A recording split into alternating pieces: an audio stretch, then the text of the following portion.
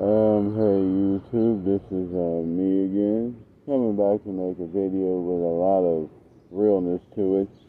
And the title of the video is simply put, Stop Living Above Your Means. Say again, stop living above your means.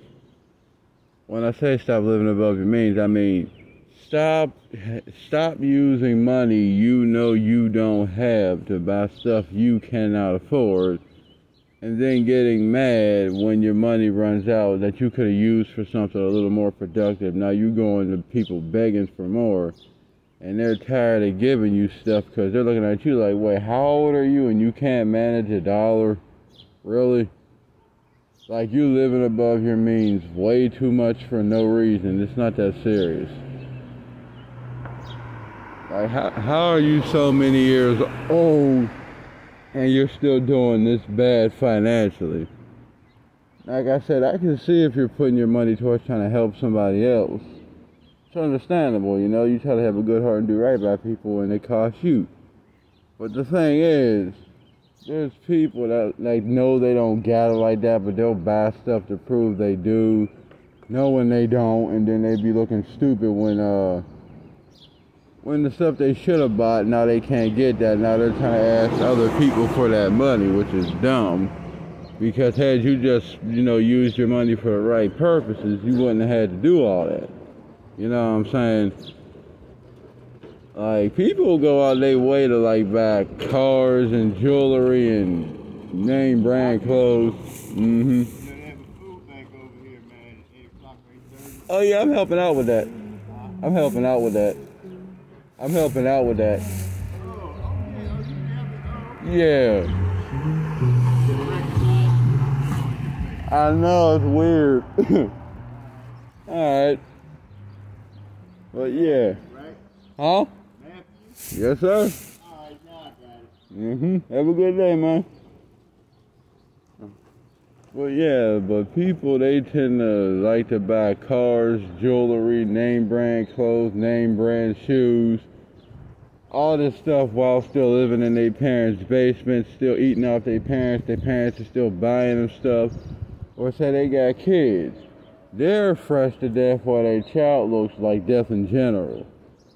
Then it's like you got women trying to buy acrylic nails, fake eyelashes, fake hair, trying to get Botox injections, getting silicone butt, silicone chest, silicone this, fake that, fake this trying to buy all this stuff they know they cannot, they, they, they, they can't afford.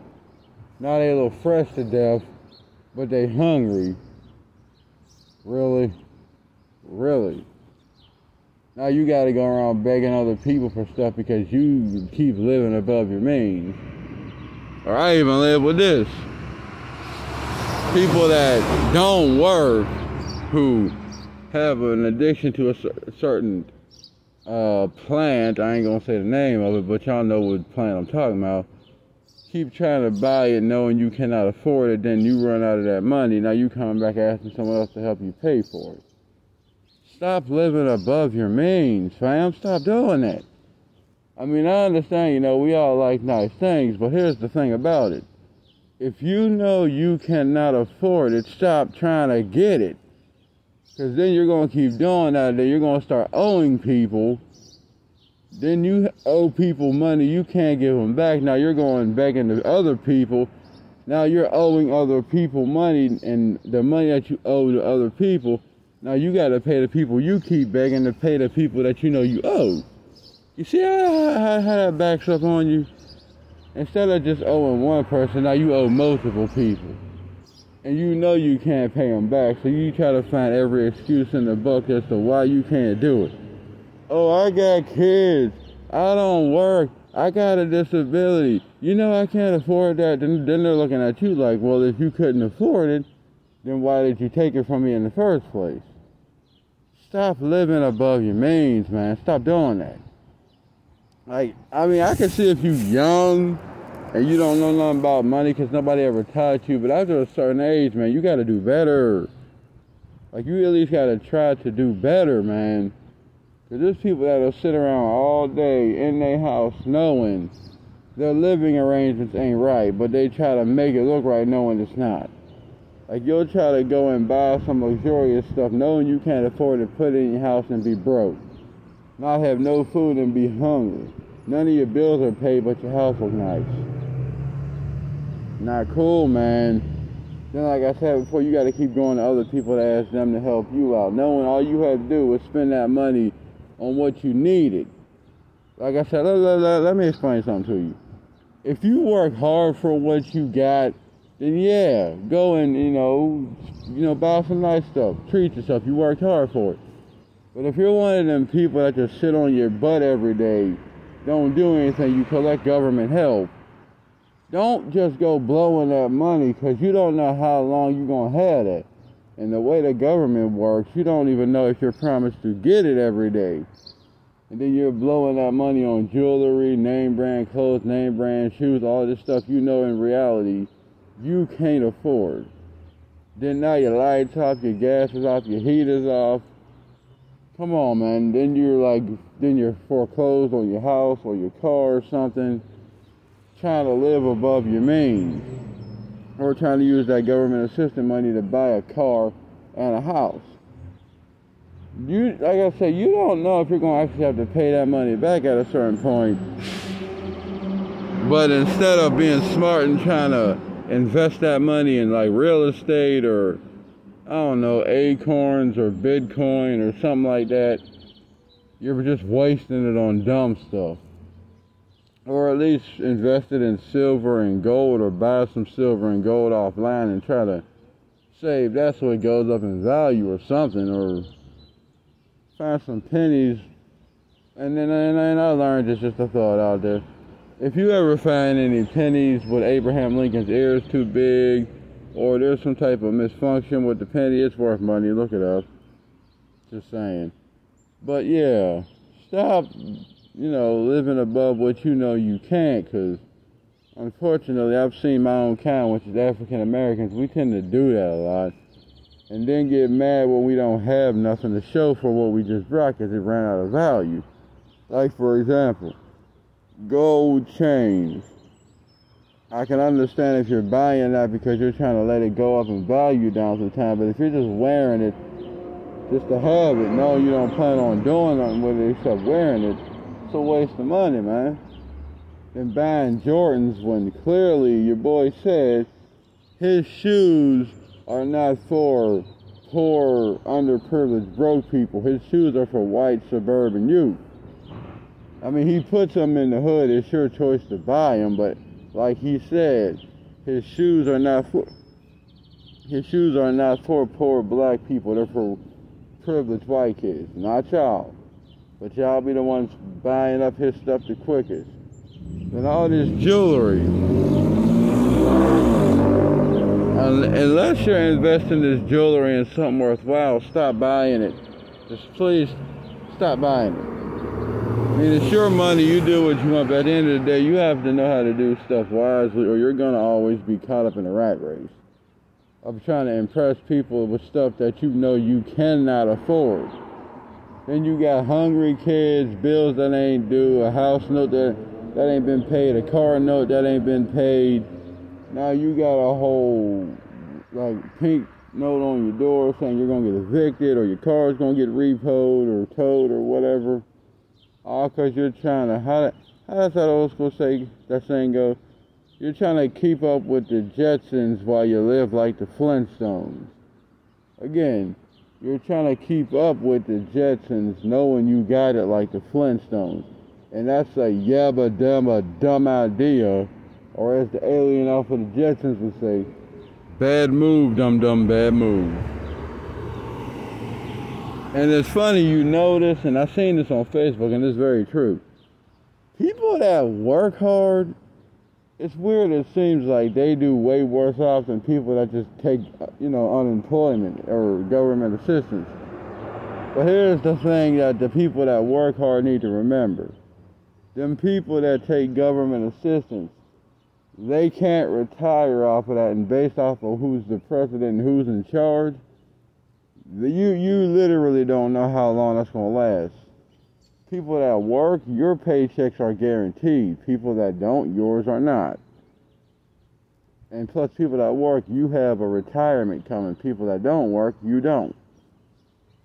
So you can sit there and collect government government assistance your whole life, but depending on who's in charge of America at the time, that doesn't mean that's promised to you. That's all I'm saying. That's all I'm saying. So if you got kids or you care anything about your future, man, deal with your finances the proper way so you ain't got to be suffering in the end because of that. Because a lot of people think, oh, I'm going to live off this government assistance forever. You don't know that.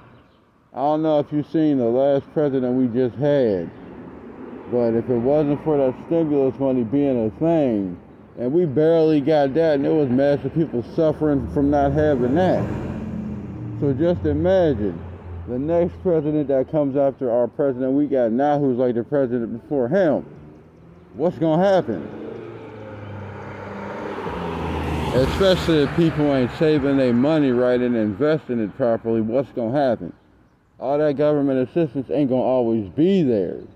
It's really not, especially the way America's debt with China is. And we owe them, I think, over a trillion dollars, if not more. So how do you know if that money that you got is gonna always last? It won't, especially when people like to live above what they know they don't have. Like, seriously, then y'all trying to be like the people on television with all the nice cars and the jewelry and the big houses. Little known fact to y'all about that. Ain't none of that stuff theirs.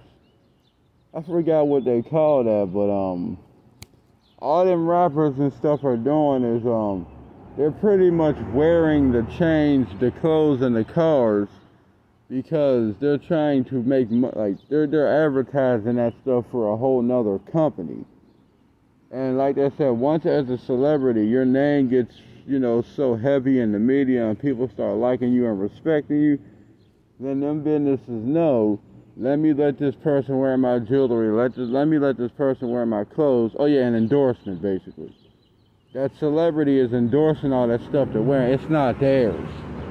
Like that chain, that car, that house, that money, that stuff is an endorsement, which means they're signing off some type of contract or some type of waiver to have that stuff in their music video. Once the music video is done, they got to give all that stuff back because they can't afford none of it. Literally, they cannot afford any of that. All the women in the videos, they ain't real. They're just there for camera time. They ain't real. Seriously, none of that's real. So if you're going to go trying to live like them celebrities, just know the celebrities you're trying to live like ain't living like that at all. They're just putting up a false image to make you live that way so you get caught up in a financial mess you can't get yourself out of. Then you end up owing debt for stuff you can't afford trying to live like people who really don't live like that. I'm just saying, that's just weird. So, just so you know, and oh yeah, and just, and just so it's understood there is time when the celebrity might be able to keep that stuff, but one wrong move and they lose it all. So you think you want to live that way, you do what you do, but I'm just letting you know. Trying to live above your means. Like you're living like the like you're trying to live like the Jetsons while you got it like the Flintstones and that's a yabba dabba dumb idea. And then, like I said, there's that alien gizmo off the off Jefferson I mean the Jetsons say. That's a very stupid idea, dum dum. Because when you on your when you on the street looking fresh, but your house is foreclosed, ain't got no car, ain't got no money, you ain't got a way to eat. Again, should not have been living above means you know you don't have. And then, like I said before, you going to church praying to God that your money get right. God's like, first of all, why is it that I'm, I'm giving you money that I know you're not going to use for the right purpose? Every time I give you money, you keep using it for the wrong reason. I don't mind blessing you with it, but you have to learn to start using it for the right purposes, man, because every time I give it to you, you're messing it up every single time. It's like then you got children, and your children ain't even being fed properly or at all going to school with the same clothes on every day, probably stinking, ain't ate in days, but you're fresh to death. Really. Bills ain't paid, houses behind, bills and rent, car note due, all that stuff behind, but you look fresh. Then you gotta go begging other people for money, or you at the store looking around for stuff you can. Like you literally can't afford a dollar, but you look like you fresh. At the gas pump, can't afford gas, but you look fresh. Still asking your parents for money, but you look fresh. Living in your parents' basement, but you look fresh. Then you got a baby mama you can't afford, but you look fresh. How? Seriously. And then you keep going back for government assistance. You keep using that the wrong way, then that eventually runs out. You ain't got a job, so you ain't got nothing to fall back on. Seriously. Then again, you're going around asking other people for their hard-earned money, getting mad when they tell you no, or you got to owe it back to them. Then they give it to you. Then they ask you for it back. Now, oh, like, dude, you didn't even have to give me the money. Like, you're getting mad about that little funky twenty dollars. Like, it wasn't even that serious. Like, you didn't even have to give it to me. But it wasn't like that when you was asking, oh, bro, you mind if I, you, you do, do, do, do, do you mind if I hold this, do, do, do, you mind if I hold that? I promise I'll pay you it back. And then once the day comes for you to pay it back, you find every excuse in the book why you can't or why you shouldn't have to. Oh, we're supposed to be family. Oh, we're supposed to be friends. Oh, I thought we was cool. Yeah, we are cool. But I need my stuff back. I worked hard for that. You know? So, yeah. And it wasn't all that when you was asking for it. Now all of a sudden, there's every excuse in the book as to why you can't give it back. But when you was begging, you was promising to give it back. Again, please stop living above your means. But oh yeah, and then you have an attitude with people when they don't want to help you out, knowing they didn't help you out as much as they can. Now you got an attitude with them, saying they're fake, you're a weirdo, all this, that, and the other. But in, in the whole time, you was the one being the fake snake weirdo. And instead of you just being a man and, or a woman and owning up to that, you just find every reason why you're not wrong. So I'm just saying, yeah, goodbye.